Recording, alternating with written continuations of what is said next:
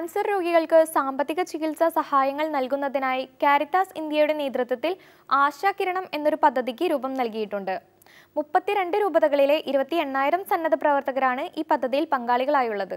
വരാപ്പുഴ അതിരൂപതയിൽ ആശാകിരണം പദ്ധതി നടപ്പിലാക്കി വരുന്നത്. രൂപതയിലെ സാമൂഹ്യ സേവന വിഭാഗമായ എറണാകുളം സോഷ്യൽ സർവീസ് സൊസൈറ്റി വഴിയാണ്. ആശാകിരണം സംസ്ഥാന അവലോകന യോഗം കഴിഞ്ഞ ആഴ്ചയിൽ കൊച്ചിയിൽ നടന്നിരുന്നു.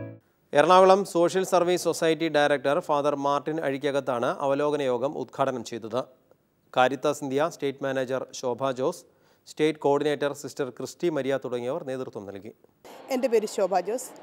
കാരിത്താസിനിയുടെ കേരള പ്രോഗ്രാംസിന്റെ മാനേജറായിട്ട് വർക്ക് ചെയ്യുകയാണ്. കേരളത്തിലാകമാനം നമുക്ക് മുപ്പത്തിരണ്ട് രൂപതകളാണ് കത്തോലിക്ക സഭയുടെ കീഴെയുള്ളത്. മുപ്പത്തിരണ്ട് സാമൂഹ്യ സേവന വിഭാഗങ്ങളുണ്ട്. ഇന്നിപ്പോൾ ഇവിടെ എറണാകുളം സോഷ്യൽ സർവീസ് സൊസൈറ്റി എന്ന വരാപ്പുഴ രൂപതയുടെ സാമൂഹ്യ സേവന വിഭാഗത്തിൽ നമ്മൾ സംസ്ഥാന തലത്തിലുള്ള മുപ്പത്തിരണ്ട് രൂപതകളിൽ നിന്നുള്ള ലയസൺ ഓഫീസേഴ്സിന്റെ ട്രെയിനിങ് പ്രോഗ്രാമും റിവ്യൂ മീറ്റിംഗ് നടത്തുകയാണ്. ഇതെല്ലാ മാസവും നടത്തിക്കൊണ്ടിരിക്കുന്ന നമ്മുടെ പ്രോഗ്രാം മുന്നൊരുക്കങ്ങൾ എത്ര ശക്തമായി നടത്തണം നമ്മൾ നടത്തിക്കൊണ്ടിരിക്കുന്ന കാര്യക്രമങ്ങളെ നമ്മൾ വിലയിരുത്തുവാനും അവലോകനം ചെയ്യുവാനും കൂടുതൽ ശക്തമായി കൂടുതൽ പേരിലേക്ക് എത്രത്തോളം എല്ലാവരെയും ഉൾപ്പെടുത്തിക്കൊണ്ട് കടന്നു ചെല്ലാമെന്ന ഉദ്ദേശ ലക്ഷ്യത്തോടെയാണ് ഇന്നിവിടെ പ്രോഗ്രാം അറേഞ്ച് ചെയ്തിരിക്കുന്നത്. ഇതിന്റെ അടുത്ത അടുത്തൊരു തലങ്ങളിലേക്ക് നോക്കുകയാണെങ്കിൽ നമുക്കറിയാം February fourth world cancer day ആണ്.